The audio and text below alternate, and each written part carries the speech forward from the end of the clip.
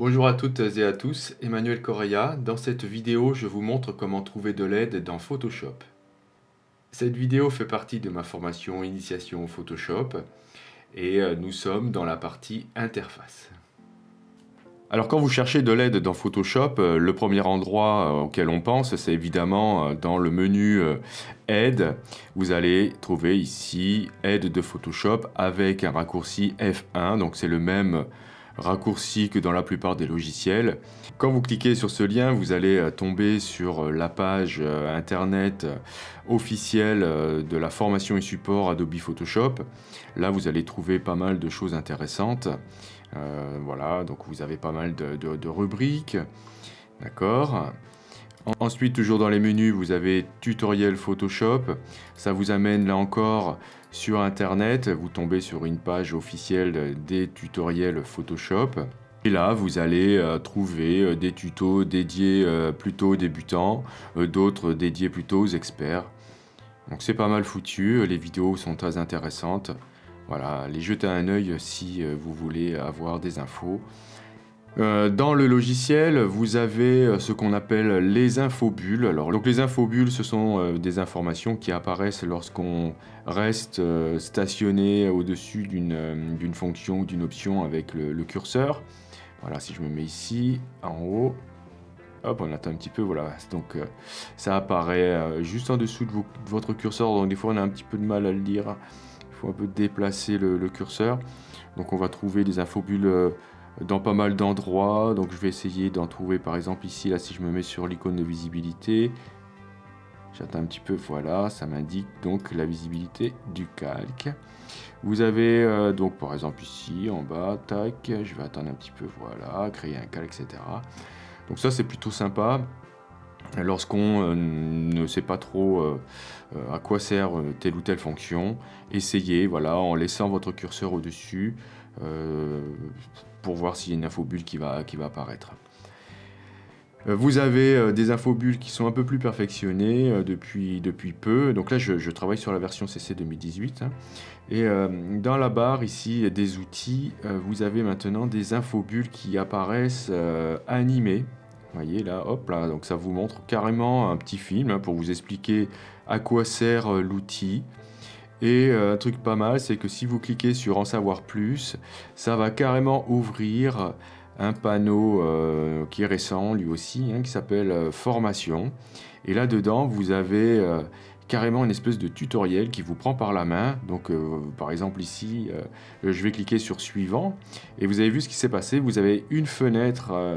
non, c'est pas une fenêtre. Vous avez carrément une image qui, s'est ouverte dans votre Photoshop. Euh, avec euh, là, pour cet exo, il y a plusieurs calques. Euh, je clique sur suivant pour vous montrer ce que ça, ce que ça fait. Hop là, donc là il m'indique carrément où je dois aller chercher l'outil. Je clique sur l'outil pour pouvoir continuer l'exercice. Et bon, j'ai des indications pour, pour me dire ce que je dois faire. Donc là, cliquer, effet de glisser, etc. Donc voilà, je vais faire ce qu'il me demande. Hop là, donc une fois que l'action est terminée, vous pouvez passer à la suivante. Et voilà, après on me demande même de faire carrément un réglage de type teinte et saturation de mon image. Voilà, je vais faire n'importe quoi, comme ça, toc. Je fais OK. Donc si euh, je veux poursuivre, je fais suivant, etc. etc. Donc voilà, euh, c'est plutôt pas mal foutu. Donc euh, ça c'est lié aussi au, panneau dont je vous parlais tout à l'heure, qui est le panneau formation que vous allez trouver donc dans le menu fenêtre formation.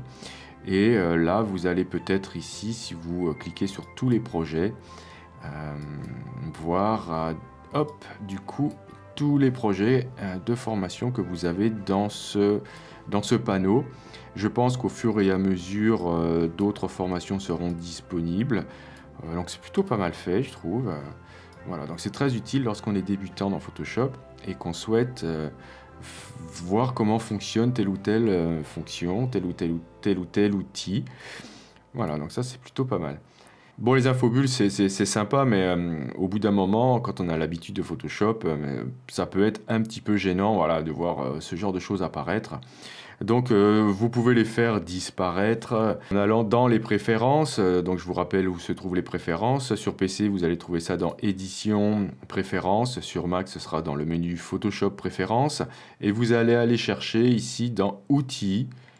Voilà, vous avez ici la possibilité de décocher donc l'affichage des infobulles et les infobulles riches suivront par la même occasion. Je crois qu'on peut voilà, soit décocher les infobulles riches et puis laisser les infobulles. Par contre, si vous décochez infobulles, vous n'aurez plus d'infobulles.